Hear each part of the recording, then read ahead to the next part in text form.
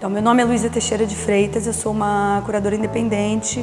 Eu moro em Lisboa, nasci no Rio de Janeiro, mas fui embora muito nova.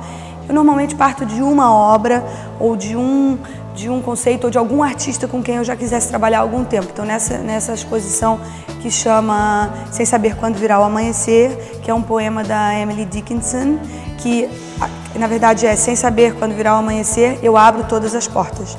E eu deixei só uma parte do poema, e daí começou com essa obra do Roman Ondek, que chama Path, Caminho, e é um cubo branco dentro de um cubo branco, onde ele você tem um corte no cubo e a luz entra por esse corte, e esse corte é feito na altura do artista partindo dessa ideia do espaço, aí eu, eu, eu do espaço eu fui para o interior, aí você tem obras como é, a obra da Francesca Woodman, em que ela foi uma artista muito jovem que se suicidou com 22 anos, mas que, que tinha sempre esse processo de autorretrato, umas obras que são bastante fantasmagóricas dentro de interiores.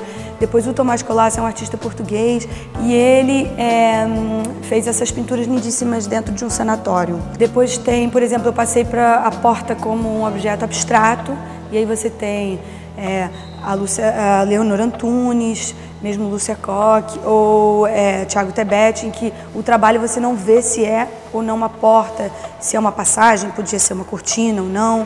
Depois tem um trabalho de uma jovem é, Alec O, de Londres, em que ela, num dia inteiro do cotidiano dela, ela fotografou todas as portas por onde ela passou.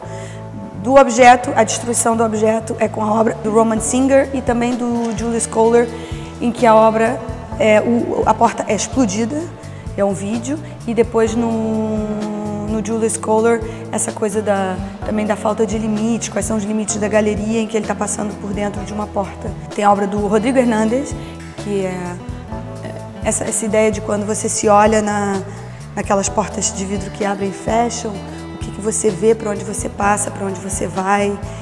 E aí, também pensando nessa coisa da mente, acaba com a obra do Nelson Lerner. E, e é legal que depois a obra do Nelson Lerner também se vai ligar para mim muito assim, essas atribulações da, da, dos nossos pensamentos, também de você ficar preso dentro de um espaço. E depois tem também a obra do Eduardo Basualdo, porque eu meio que em todas as exposições que eu faço, eu sou muito assim, preocupada, muito obcecada com o tempo. Então ele é um relógio sem ponteiro que chama Mar Aberto. E eu acho que isso também faz relação com todos esses tópicos que eu estava falando.